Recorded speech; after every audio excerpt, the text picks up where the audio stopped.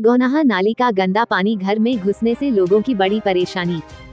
ग्रामीणों ने आक्रोश व्यक्त करते हुए बताया कि घरों में गंदा पानी घुसने से हो सकती है महामारी।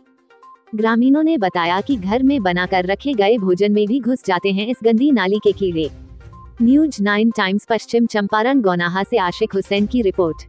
गौनाहा प्रखंड अंतर्गत बेलसंडी पंचायत अंतर्गत वार्ड नंबर तीन में प्रमोद राम के घर से महेश राम के घर तक बने नाली में मिट्टी, कचरा आदि भर जाने से नाली पूरी तरह से जाम हो गया है।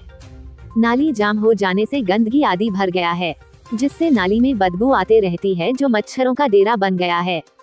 गंदी नाली से अनेकों भयंकर बीमारी होने की संभावना बनी रहती है।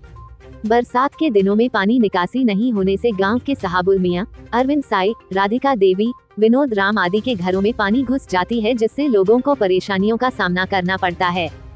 साथ ही साथ भयंकर महामारी समेत अनेक बीमारियाँ फैलने की संभावना भी बढ़ गई है।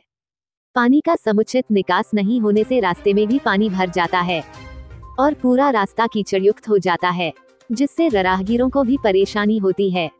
नाली की सफ़ाई कराने को लेकर ग्रामीण प्रमोद कुमार, अरविंद साई, साहबुल मियाँ, अब्दुल करीम ढेला देवी, सफीना खातून, तबसुम खातून एतुला खातून, विनोद राम, राधिका देवी आदि लोगों का कहना है कि कोई बार नाली सफ़ाई व मरम्मती को लेकर स्थानीय मुखिया शंभू राउत से कई बार गुहार लगा चुके हैं लेकिन अभी तक कोई पहल नहीं की गई है।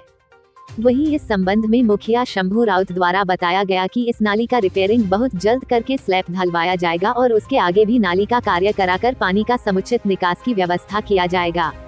वहीं ग्रामीणों का कहना है कि हम लोगों के इस दुख को कोई भी नहीं है समझने वाला। इस गंदगी के कारण हम सभी लोग हमेशा बीमार पड़ते ही रहते हैं। उन्होंने बताया कि हमारे बने बनाए भोजन में भी नाली के कीड़े घुस जाते हैं। लेकिन इस समस्या को कोई भी नहीं सुनता और समझता है। हम लोग जाएँ तो जाएँ कहा जाएँ। न्यूज़ नाइन टाइम्स नाली के लेकर के आप लोग प्रदर्शन कर रहे हैं क्या समस्या है? नाली को लेकर इसलिए प्रदर्शन हो रहा है कि हमारा नाली लोग बाँध बाँध दे रहे हैं पानी जाने नहीं दे रहे हैं। बहुत दिन से हमको परेशान करके रख दिए हैं। आप किसी से कहे नहीं है? नहीं किसी से मुखिया से कहे हैं तो मुखिया सुनते नहीं। क्या कहते हैं मुखिया? मुखिया बोलते हैं कि पंचोखा बन जाएगा। कितना दिन से बोल रहे हैं बाद, कि पंचों दो का बन जाएगा? अभी एक महीना दो महीना होता रहता है। पानी का समस्या मैंने लगातार है। हाँ। आ, आ, निकास का इसका कहीं व्यवस्था नहीं है? नहीं। आपका नाम? प्रमोद कुमार। घर? नया टोला बेलसंडी। पंचायत? बेलसंडी।